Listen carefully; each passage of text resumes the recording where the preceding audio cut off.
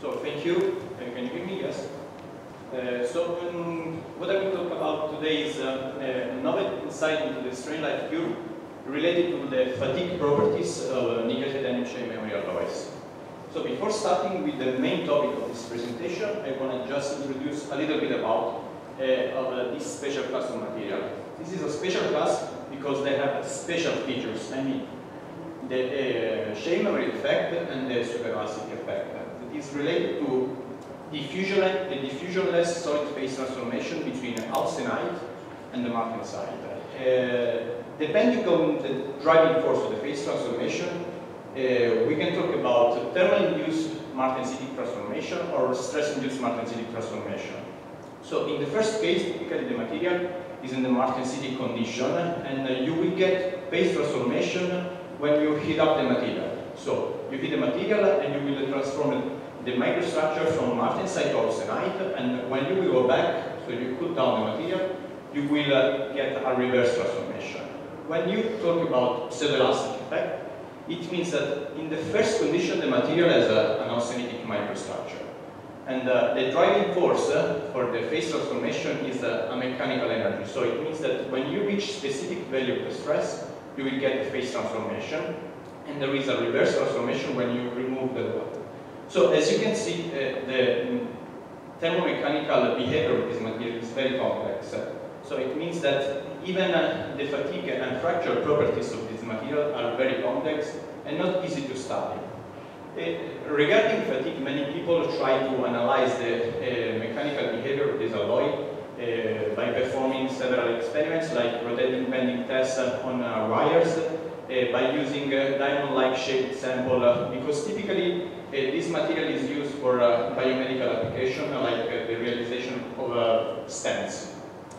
And uh, other people just use the common uh, dog bone shaped sample with the, with the help of a physical strain gauge extensometer in order to evaluate the functional evolution of the strain and the other parameters.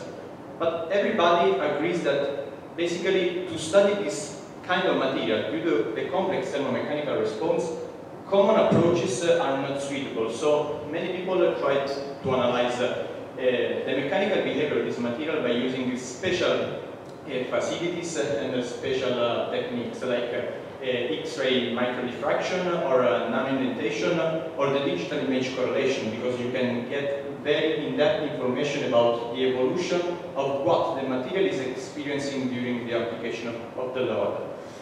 Uh, so, uh, the aim of uh, this job I'm going to introduce you is just a mechanical fatigue campaign in order to analyze the thermal and mechanical aspect of fatigue in a shape memory alloys uh, by using uh, local approaches.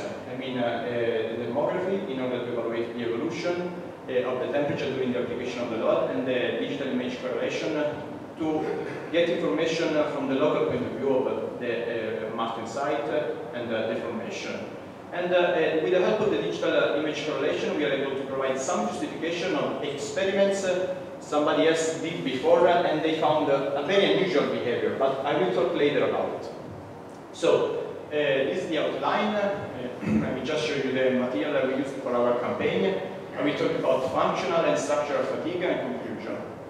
So, uh, Eh, this is the material we used. Eh, it's a commercial eh, uh, nickel titanium uh, pseudoelastic alloy. As you can see from the stress strain response we got from uh, an isothermal test at room temperature. And those are the samples we used for our campaign. And this is the entire, the entire setup and equipment we used for the local analysis. in particular, we have a camera to take pictures for the image correlation and the thermocamera to take information about the temperature evolution. And um, the samples were properly treated. I mean, uh, one side was uh, painted with a random grayscale speckle pattern because this is a requirement for the digital uh, image correlation analysis. The other side was black painted in order to uh, maximize the emissivity uh, of the sample. Uh, so how we perform the experiment? Basically, they are strain controlled. And uh, we performed the experiment in two different steps. First steps, we applied a non-constant strain ratio because uh, this material has a, a very um, ratcheting-like effect. I mean, there is uh, an increasing of uh, residual uh, strain, so we have to avoid compression phenomena. So when the material is completely stabilized, so we perform the test, we continue the test, and we apply a constant strain ratio until failure. Uh, so typically, uh, people when talk about fatigue and shape alloys, distinguishing functional fatigue and structural fatigue. Functional fatigue means uh, analyzing thermal and mechanical evolution of some parameters like uh, residual martensite, accumulation of strains, the temperature evolution, and so on. So let's start talking about this evolution from two approaches, I mean the global one and the local one. From the global, for example, we want to analyze the strain evolution in a single cycle when you apply the load. Uh, from a global point of view, you can just read the stress strain response obtained from information of the load cell and the physical extensometer. But if you want to evaluate how the martensite, how the strains, uh, the strains experienced by the sample during the application of the load, digital image correlation is a very useful tool. As you can see from this video clip.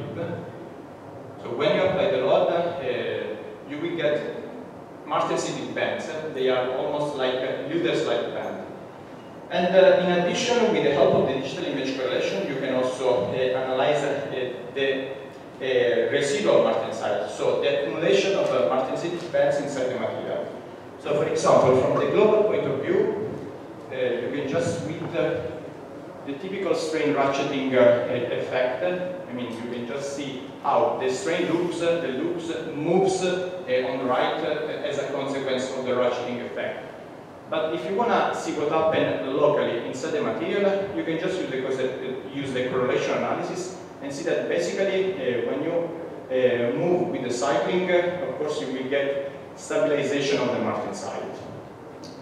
so this is the entire history, basically, of Eh, the entire campaign we performed. And you can clearly see that basically uh, when you move uh, in the fully elastic regime of the austenite, you will not get a very stabilization of the, the martensite because there is no practically ratcheting effect in this range. But when you move with a maximum strain level inside the stress plateau, you will get martensitic bands, and those are residual bands of the martensite. And when you move in the fully martensitic regime, the material is completely transformed when it is stabilized. So let's see what happened uh, about the thermal evolution of the alloy. Uh, basically, uh, the transformation from austenite, uh, from austenite to martensite is uh, an exothermic transformation. So it means that the material heat up when you apply the load. When you remove the load, the reverse transformation from Martensite austenite is an endothermic transformation, so it means that material cools down. And uh, this is what really happened uh, during the application of the load. So, as you can see, there is a, a, very big jump of the temperature as a consequence of this uh, phase transformation. So, if you want to study the evolution of the temperature inside this box, and uh, we are, are going to plot the maximum recorded temperature here and the minimum one, those are the results. So as you can see, for a typical uh, uh, sample, in this case, uh, the maximum applied strain was the 6%, so it, it is quite big. There is a big jump in the temperature in the first cycle, and then there is a, a stabilization. And basically, the higher the maximum applied strain, the higher the maximum temperature. And the same results you can uh, clearly obtain when you just analyze the stable uh, increase of the temperature. But the most interesting thing is that when you analyze the minimum temperature inside the box I showed you before, and uh, the material, as a consequence of a well-known effect, the elastocaloric cooling effect, is able to cool down below the room temperature. So this is typically what happened uh, from the mechanical point of view and the thermal point of view in a generic cycle uh, when you put the load in a shape memory alloy. Uh, if you move inside the, in the linear elastic regime of the austenite, you will not get any martensitic bands, of course. And even also the temperature doesn't go up very quickly. But when you move inside the stress plateau, you will get phase transformation, martensitic bands, and the temperature tends to go up very quickly. When you remove the load, of course, uh, the phase transformation bands tends to disappear and the temperature goes down. So, this is what actually happens uh, cycling by cycling, and uh, typically uh, both the mechanical uh, loops and the thermal loops tend to stabilize after 150 to 100 cycles. Uh, so let's talk about structural fatigue, uh, but before starting showing you the results we got in our experiment, I want to show you some very important results people obtained in previous research activities. In particular, Figueiredo and uh, Pelton performed a rotating bending test on, on wire. And this is uh, basically the results they got in terms of uh, strain amplitude versus number of cycles to failure. So the behavior is quite unusual and strange. And uh, we can distinguish four different regions. So a first region, uh, when you work, uh, define it as the low cycle fatigue behavior, when you work in the fully transformed Martensite regime. There is a second stage uh, where uh, you, you typically work inside the stress plateau, and uh, it seems that in this range, the strain life is not affected by the maximum applied strain. This is quite strange. Uh, when you move inside the linear elastic uh, regime of the austenite, you have the high cycle fatigue regime and then the very high cycle fatigue regime. So it is important to uh, understand that basically this information, the strain amplitude, is just something that is geometrically identified because it is related to the curvature of the wire. So you cannot get any information about the evolution of the strain in this range because the rotating bending test is not instrumented. So let's see what happened in our experiment. So if we want to show you the results uh, considering the strain amplitude measured with the initial maximum strain, we have similar results, for different regions. So it is quite strange. But in this case, we have the opportunity to use uh, the virtual extensometer and considering also the strain amplitude evolution. So instead to consider just this maximum strain amplitude, I can just consider this, this strain amplitude, removing the functional evolution, as I told you before. And this is what actually we got. And uh, as you can see, there, is, there are still four different regions. Even it seems like that this region seems to disappear. So those results are obtained by using a, a physical uh, extensometer. But if you want to perform not a global analysis, but a local analysis by using uh, not a physical extensometer, but virtual extensometer uh, located in the martensitic bands, the information you got in terms of strain amplitude is very different compared to the previous one. This is the global, so as you can see, the higher the maximum applied strain, the higher the strain amplitude. But in the case of the local analysis, it seems that when you move inside the pseudoelastic plateau, this value tends to saturate. And uh, uh, what happened? That basically the points we had before here tends to move up in the region 1. Okay? Yeah, almost done. They tends to go up in the region 1. So in our opinion, this is a very interesting result because it is very difficult to think that in this region the material uh, resistance is independent of the big strain that typically involves this uh, material around the 5, 4, 6%. And this is uh, just uh, the final result we got, just to show you that with the global data you will still get four region, but with the local data you will get three different regions. This one related to the martensitic microstructure, and this one related to the austenitic microstructure. So in conclusion, thermal and mechanical function evolution of the NITI SMA was investigated uh, by local and global approaches.